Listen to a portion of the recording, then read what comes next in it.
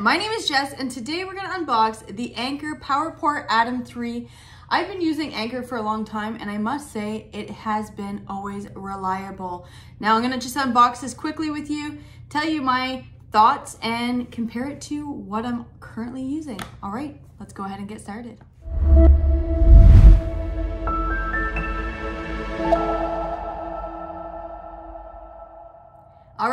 Welcome back to my channel. If you're new here, go ahead and hit that subscribe button below. It would help me out a ton and you'll be reminded that every single Monday I do post new content. Okay, let's dive right into this.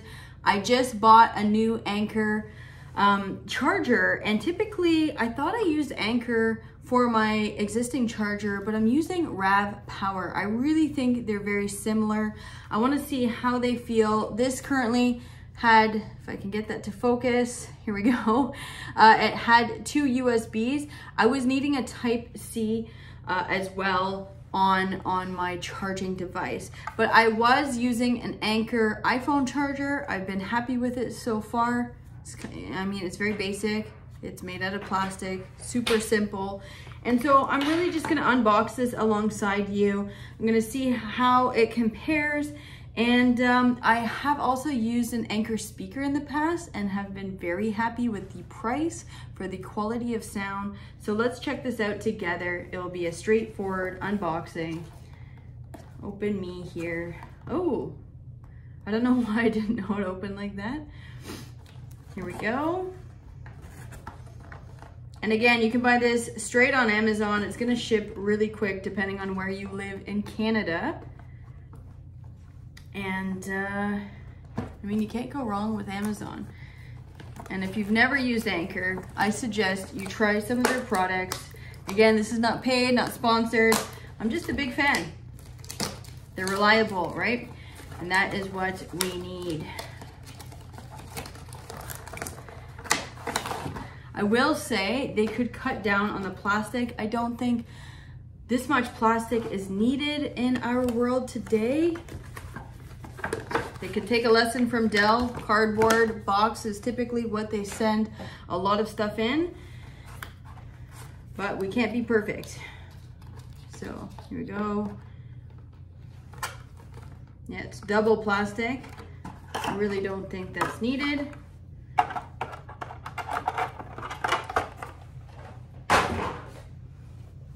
Okay, so it is your standard power brick. it's probably the least exciting unboxing video I've done with you, but it really, I assume I'll plug this into the wall and you can see, I'm sure it will turn green. And it does come with a cable and I have a ton of Anker cables. They are reliable, right? These cables, they don't, they're not as flimsy as the Apple ones or other ones. They are quite strong. They're white. I probably prefer black White I find gets very dirty.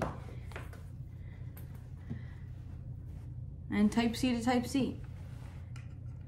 So again, if you want to charge a laptop, and I happen to have my laptop handy, you just plug it in and ready to go. This is a really nice small charger, especially if you're going on the road. This is this is so small and it's so light. I highly recommend that. Uh, I believe it is a fast charger. I'll take a look at the uh, instructions, but it comes with a nice um, little, not a zip tie, but a little vel Velcro thing for traveling purposes. And then you also have a USB there attached. All right, so like always, here is the instructions for use. It's a power adapter, so it's quite straightforward tells you what you need to charge and compatible devices.